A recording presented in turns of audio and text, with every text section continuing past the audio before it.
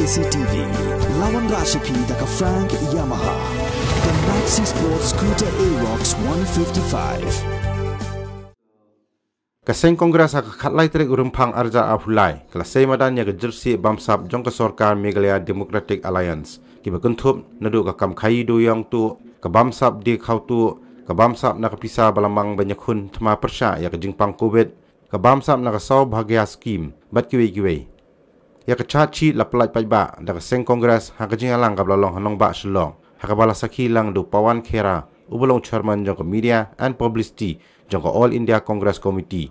Haringkat ke jing sakhi lang jong ka Bobita Sarma bat u Anthony Matthew. Ki belong ki media coordinator jong ka All India Congress Committee.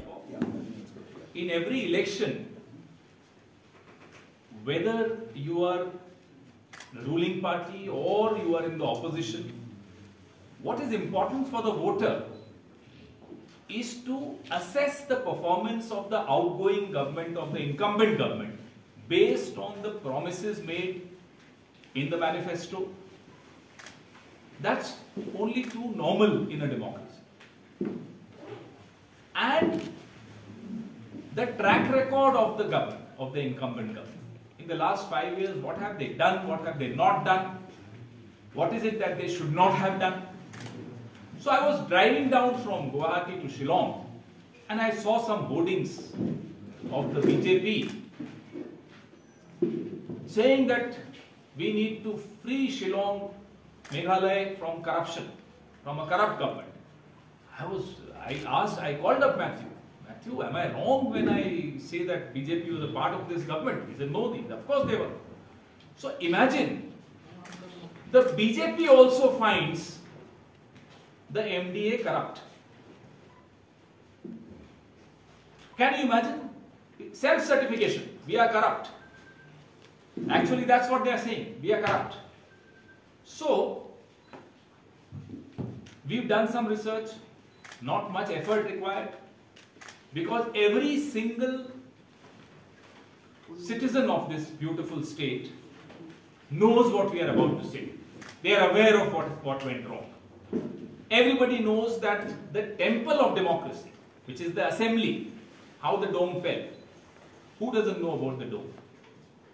And it's a sad commentary that the kind of corruption that went into the allotment of tender of this assembly. Assembly, when I repeat, it's, it's the temple, the church of democracy. In that you were found to be corrupt.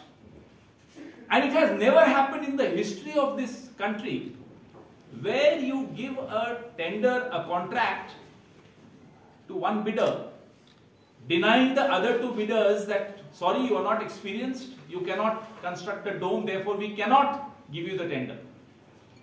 Guess who gets the final subcontract? Those two companies which were denied the original contract. And they were denied because they had no experience in constructing a dome. They, are, they end up getting the work. Obviously, the dome, the dome had to fall. They were not experienced. And the officer who was responsible for this is now contesting elections. It's a textbook case. I think after the elections, Netflix will come up with a, a very entertaining serial on this. Unfortunately, it will be tragic. It won't even be comic. But that's, that's the kind of government Meghalaya has experienced for the last five years. So that very officer is now contesting as the NPP candidate from North Shillong. Look at the cheek. Look at the shamelessness. In Hindi, they say, "Ek to chori upar se sina jori." He is proud to be a thief. Obviously, he's not the only one. Obviously, he has the blessings of someone. Who is that someone? Everyone knows the answer. So, I won't go into the details of the companies. In the press release, you will have all the details of these two companies uh, who were given the subcontract of the dome. I would also not go into the figures because that's a very boring, longish press uh, conference. So, but the figures are also in the press release. Something which all of us, the entire country suffered from. But some parts of the country suffered from a double whammy. There was COVID and there was corrupt governments which were handling COVID management, COVID mismanagement. In Meghalaya, there were 96,785 COVID cases and 816 crore was spent. Uh, 1,624 deaths. So ex gratia payment was 816 crore. Manipur spent just a little over 100 crores for 1.4 lakh cases of COVID and 2,149 deaths. Just a comparison. See where, where Meghalaya stands. So Meghalaya's COVID expenditure was 8 times more than that of Manipur and even it had much lesser COVID cases and deaths. Where is the money gone? Everybody wants to know the answer. Where is that money gone? So, 119.73 crore being released by the center. The discrepancy is of 43.73 crores. Where is that money gone? Who has pocketed that money? Again, the director of health services, who should have been held accountable for this discrepancy, is also contesting elections. Look at the joke. He is the UDP candidate from Shillong North. Who's, who's the one behind all these people? First, they use these officers for corrupt practices. Then they protect those officers. Then they get them to resign. Then get them in their own fold. Come, fight elections. Together we'll do more corruption. You were on the other side of the table, now you come on this side of the table. So the players will keep changing, interchanging. Under the table, things will keep going on, and Meghalaya will keep suffering. Why? When will it all stop? This must stop. The third charge in our charge sheet is the Meghalaya Urban Development Authority scam to Muda. No utilization certificate has been given and no one knows where that money was spent. This was for the development of the city. Where is the development? Where is the 500 crore rupees? Where is the utilization certificate? Where is the accountability? And these are not small numbers. This could have transformed the city. Mega shopping complex at Meghalaya Transport Corporation, Jail Road. It is also under the scanner. The government intends to spend more than 200 crores in a plot land measuring less than 50,000 square feet. Numbers speak for themselves. It smacks of corruption. Massive, brazen, shameless corruption. Now, a senior BJP leader and former minister A.L. Hek, whose party was an alliance partner of this government, has also castigated the MDA government for spending such a huge sum of money for a shopping center. As I said, within their own family, they are accusing each other. This is the state of affairs. You all covered the coal scam, the illegal mining and transportation of coal. The Meghalaya High Court in 2022 had appointed that uh, Justice BP Katakey committee, uh, retired judge of the Guwahati High Court. And in his report, he has stated 13 lakh metric tons of coal was illegally mined. 13 lakh metric ton. Mind boggling thing. The report has been very scathing in its observation. But tell me, if any head rolled, was anyone punished? Was anybody held accountable? What happened? You can't put such a beautiful state to shame because of some corrupt leaders. 650 crores. That's the kind of scam we are talking about in this illegal mining and transportation of coal. 650 crores. Now we come to the Saubhagya scam. The CAG rarely speaks these days. After 2014, we haven't heard much from the CAG. Suddenly, everybody is quiet. But in the 2021 audit report, the CAG exposed a scam of 149 crores in the state power department. A Delhi firm was uh, given a turnkey project. There is an accusation that there was undue favor given to that firm.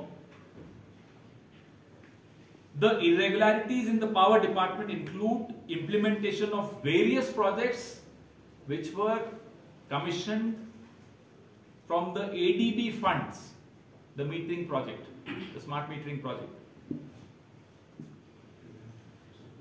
The rice scam, rice which was meant for the poor, which should have ideally gone for the PDS beneficiaries, was found in Assam. It was taken away 50 lakh 50 lakh uh, kilo. Yeah. Can you imagine the kind of cruel people who would rob from the poor? Who does that? So even when, when I'm talking about it, my blood boils. I'm sure your blood boils too. I'm sure the blood of every single voter of Meghalaya is boiling right now. How can you rob from the poor? And this is taxpayers' money. You and I pay from our taxes so that the poor can be fed. That rice was smuggled for, for the open market. We all know about the cartelization which took place in the IMFL business, how the prices were manipulated. This was in 2019 when the cartel was formed. A lot has been spoken about it, written about it. Then we have heard about the casino scam. How nepotism and favoritism, there, has, there have been charges of nepotism in how these three licenses that were given. The church and other activists organization opposed the move, claiming that you cannot legitimize or legalize gambling. Then the government scrapped opening of these casinos. But the intention of the government came out very clear. Corruption with no regard to the social fabric of the state. No regard whatsoever. The there are two families, uh, two ministers. Everyone knows their name. I'll name the name of the company and you'll know who I'm talking about. The Dhar Construction Company. Who doesn't know about the Dhar Construction Company? Again, nowhere in the country you will see two people, ministers in the government, own a company in their own name and they get all the contracts, most of the important construction contracts, road construction contracts, other contracts, government contracts for their company. Nowhere will you see this level of brazenness, this level of shamelessness in corruption. There is corruption in other parts of the country. I'm not saying there is no corruption in other parts of the country, but this brazenness is unknown in other parts of the country. We have heard about the police purchase scam, and, and I'm reading, this is my 10th charge that we are reading. Believe me, there are hundreds of them.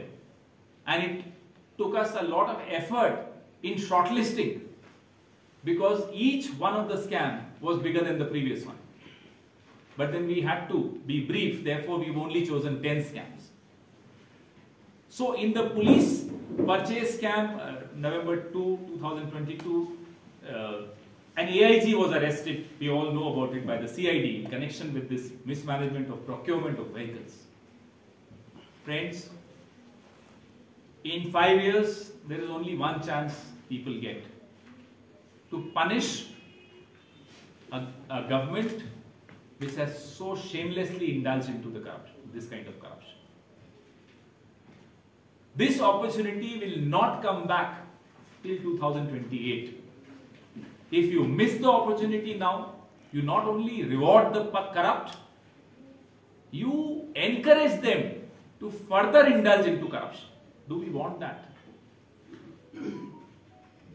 I don't want to comment on the one gentleman who is the Brutus now. Mamtaji will understand who I'm talking about. If she doesn't understand, she'll understand in a few months or years. If he could do this to us, he'll definitely do it to her also. We've all seen Team A, Team B, Team C, Team D. Everybody is aware of who's acting on whose behalf. Today, some somebody met me outside. Said this time a lot of senior Congress leaders are coming to Meghalaya. Why? I said because we are winning. We are coming here because we are absolutely confident of forming the next government in Meghalaya and ridding Meghalaya of the corrupt MDA government. Meghalaya can see through the collusion, the unholy alliance. Some alliances are visible, some alliances are not visible. Meghalaya wants to vote for a five-star Meghalaya. Meghalaya wants to vote for these five commitments made by the Congress party.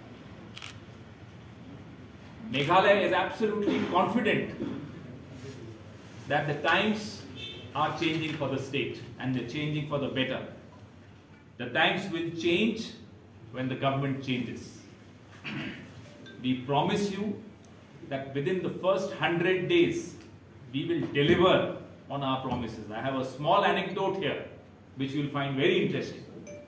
In 2018, the Congress party won Rajasthan, Madhya Pradesh and Chhattisgarh and I repeat this example wherever I go because this is the example why people like me are in the Congress. Mr. Rahul Gandhi along with senior leaders, Mr. Rahul Gandhi was Congress president in 2018, came to Jaipur for the oath-taking ceremony of Mr. Gehlot, went to Madhya Pradesh for Mr. Kamalnath, and then went to Chhattisgarh for Mr. Baghel. By the time his plane landed in Delhi on that evening of a December day, I'm forgetting the date now, all the three governments had called the first cabinet meeting, signed the file for loan waiver of farmers. All the three governments before the sunset, before Rahul Gandhi returned to Delhi, the promises made to the voters of these three states were honored. That's the kind of commitment and we've stopped calling it a, manifesto. In Hindi we call it the Sankalp Patra now. We are determined to deliver. So this charge sheet in your left hand and in your right hand, keep our five commitments and then vote for the Congress. We are very confident that we'll win.